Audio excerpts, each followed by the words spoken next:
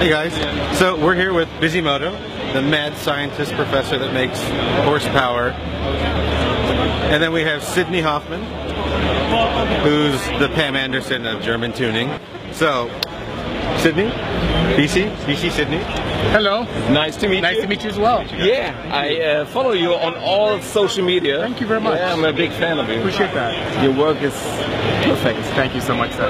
Very kind of you. Yeah, not kind, it's, it's true. Well, thank you. I have a great team. You know, it's not just a one-man show.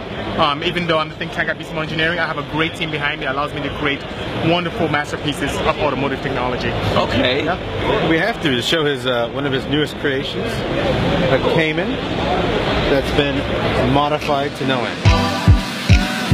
You wanna know just where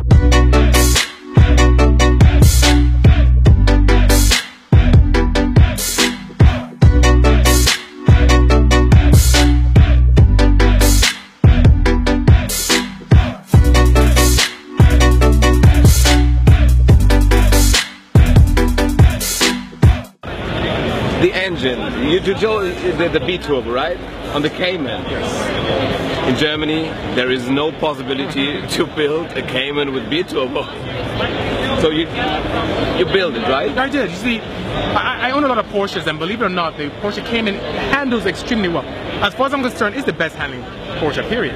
And then combined with some KW suspension, it's a match made in heaven. So that being said, the only thing that Cayman lacks is some power. And that's where we came to play, to be able to put great power into the Cayman. So you have the best of all worlds, excellent handling and impeccable power.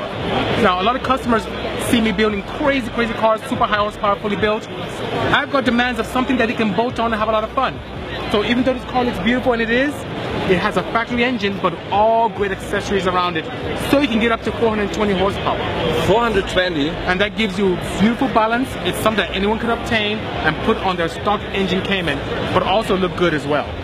So in the back, there's a big APR wing mounted on these bespoke uprights. And if you get the low shot of the car, all you see is power.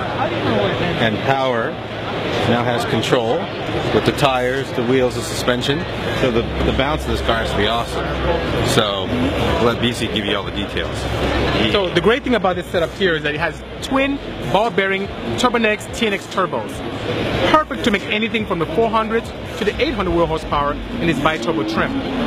Right there you also see a very nice huge Godzilla blow-off valve extremely important because whenever you close the throttle body, especially in a boosting environment, you can create a lot of pressure in the engine. It could do horrible things to the turbo or, God forbid, the throttle body. So that allows great evacuation of boost whenever the throttle is let up. Air-to-air -air intercoolers are also in the back here. Very unique. Most people tend to offer liquid air.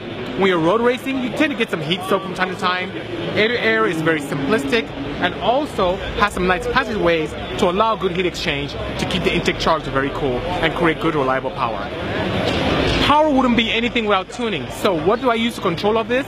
A very custom plug and play AEM Infinity system allows me to give proper fuel, ignition, and CAN control of everything in the car. No cutting of wires whatsoever. It's a perfect unplug the factory Bosch ECU and add the AEM EMS with the CAN control, and that's it. And I can shoot flames too, which is awesome. So I can shoot nice anti-lag flames and also have something that's very reliable and repeatable and fast as well. So you get to see a lot more components coming from Bisimoto Engineering similar to this, both mild and wild. But one thing is for certain, all the cars and components are reliable and the best of the best. Just like KW suspension, the best of the best. It was a pleasure. It's a pleasure as well. Thank you so much. Thank you very much. Thank you as well. seeing you again. Thank you again. Thank you, Chris.